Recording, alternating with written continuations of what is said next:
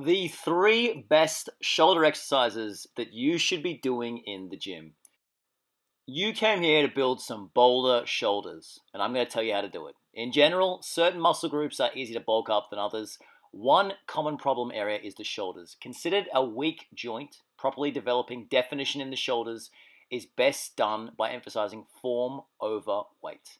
There are a lot of advanced exercises in the workout vault, but beginners can get away with just doing these three super simple, basic weighted movements to get those healthy, sexy looking shoulders.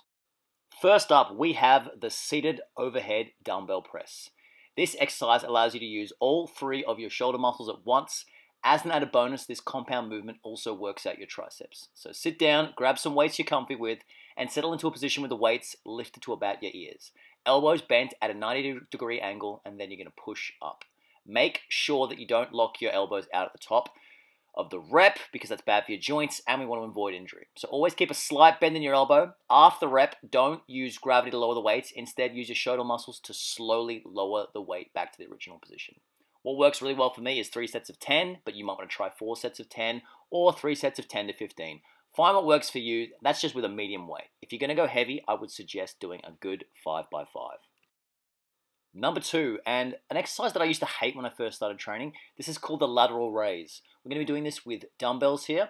Now, for a lateral raise, you're not going to need a lot of weight. So don't use this movement to impress any girls or guys at the gym. Go nice and light, get it done perfectly. Begin by sitting or standing. We're going to be standing in this while holding a workable weight in each hand down by your sides. I think I was only using about six kilos here. You're going to start at your hips. Once you're ready to start the rep, raise your hands up and away from your body to each side until your arms are parallel and lowering slowly. As you get to the top, don't be afraid to tip it in as if you're pouring in a teacup. Three sets of 10 to 20 is perfectly fine. The final exercise, and the one that most people forget, is the rear delt flies. We're hitting the back part of the deltoid here. So it's time to work those rear shoulder muscles known as posterior deltoids.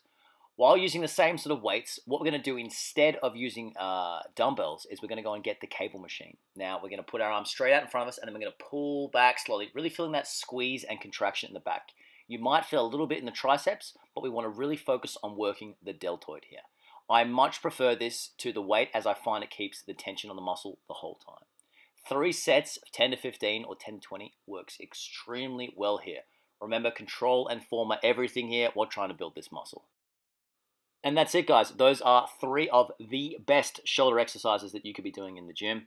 I promise you that if you start working on these, slowly increasing your form, increasing the weight, working on it, putting in the time and effort, you will see bigger, stronger, smoother, sexier shoulders. Thank you so much for watching, guys. Don't forget to like and subscribe. I'll catch you in the next one. Peace and love.